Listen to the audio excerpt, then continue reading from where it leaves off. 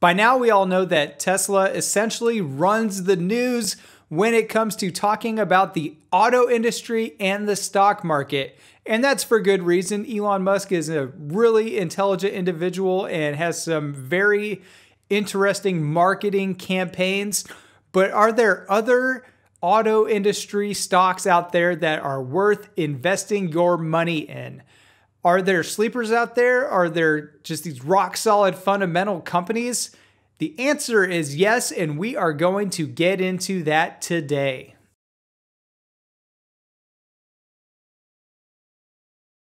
What's going on, guys? Nathanael here. Welcome back to the channel. That's right, we are going to be talking about some other auto stocks that I am interested in, and I think you should check them out and be interested in them too. Some of them have very solid fundamentals, and some of them are just ripe for a pivot in their industry. So, we're going to hop on the computer and I'm going to talk to you about why I like these stocks. But before that, go ahead and subscribe to the channel if you have not already. I'm trying to bring you the best content I can and I would really appreciate your subscription so you can get informed every time I post a new video. The very first company I want to look at is Workhorse Group, and you can find them as WKHS on the NASDAQ. And they are very interesting because it goes to show that Tesla is not the only one who is innovating during these times. In fact, Workhorse Group has some very, very cool ideas out there that I absolutely love. They essentially have an electric delivery van with drones. So basically, a van can go down your street and dispatch drones to deliver packages to your door. And this is by no means a novel concept. Amazon has been working on similar drones to deliver packages but it's very cool. They think that about 70% of all packages could be delivered by drone, and we'll get into more of that in just a second. But I wanted to go ahead and have a look at this company's record on the stock market as well as some of their buy and uh, price targets. So if we have a look at the price points for Workhorse, you can see that it was sitting at about 325 about three months ago, and now it is sitting at 234. Honestly, if this was to be a success, they do have FAA clearance and they've done some prototyping and testing in Cincinnati. And I think that this is going to be the future of delivery. Automation has taken a lot of hold in how we do things. And so I would not be surprised to see deliveries, especially uh, people like Amazon who just deal with such a huge volume, going after this technology in the future. And that's why I think this one would be a great stock to buy. Now, if we look at analyst ratings, of course, this is compiled by Webull. If you don't have a Webull account already, go ahead and sign up in the link below. You will get two free stocks, and one of those is going to be worth up to $1,400 when you open an account and make your first deposit of $100. Now, Webull has this as a strong buy, which means these are speculative holdings and that means people who analyze businesses look at these based on the performance of the stock as well as where they see the future of said stock.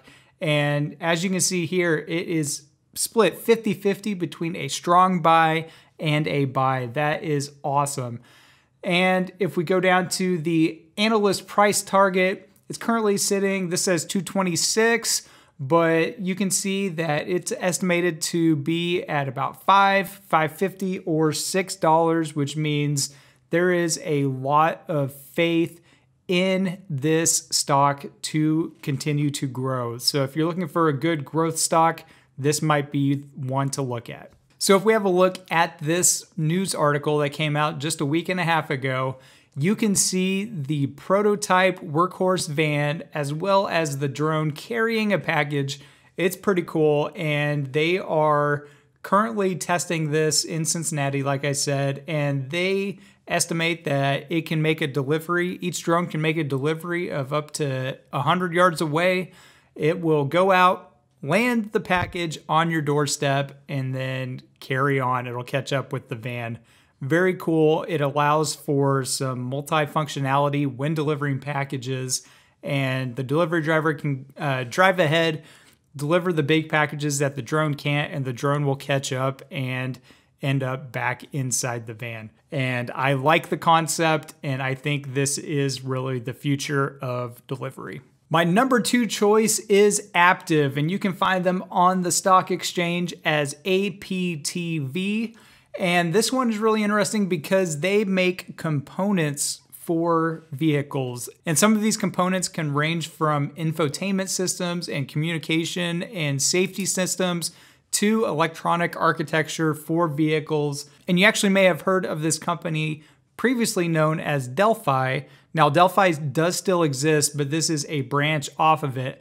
And we can see that it is currently sitting at about 61.46 and by looking at the three month chart, we can see that it was at over $90 a share and now it is slowly working its way back up. Honestly, I think this company will recover because cars are still going to be made and there is still a lot of research and development that goes into it. Looking at the analyst rating, it is currently rated as a buy. And if we go to the analyst price target, you will see that it ranges anywhere from $50 to 110. But given that buy speculation, I would consider this company to grow back to its $90 price point or higher. And if you get in now, you are probably, obviously, I am not a licensed stockbroker or a financial advisor, but I would say they will recover from this time. This is a stock that I absolutely want to have. It is race. And I mean, how fitting is that ticker symbol because we are talking about Ferrari. One of the most interesting things about Ferrari is how expensive their cars are. And because of the price of a Ferrari ranging anywhere from like a hundred thousand to something like 1.3 million or higher, it just depends on the model. Ferrari caters to a more exclusive crowd, and I would dare say that people who can afford to buy a Ferrari will still buy Ferraris and won't be necessarily slowed down by this economic slump. Now, Ferrari was absolutely a steal back in March when its share price dropped below $130. But if you got in now, you could still see some growth. It is currently sitting at about $158 and I have no doubts that once all of this is passed and the world comes back to normal, they are just going to continue their upward trend. Analysts have this as a buy, and honestly, I can't disagree because, like I said before, people who can afford a nice sports car are still going to buy nice sports cars. And that leads me to my final stock pick for today KMX, aka CarMax. Now, CarMax sells cars, and because of the size of this company and the number of locations across the US, I would dare say that they will fare better than just your average car dealership. And if you look at their price chart, you will see that they are sitting just short of $65 a share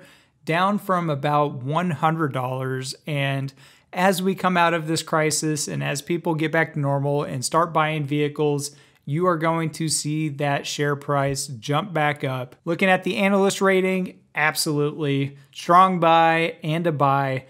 You are not going to get much better than that. And because of the size and the volume of vehicles that they sell and push out, they are going to rebound and getting in now would be a deal. So, do you agree with my assessments about these companies?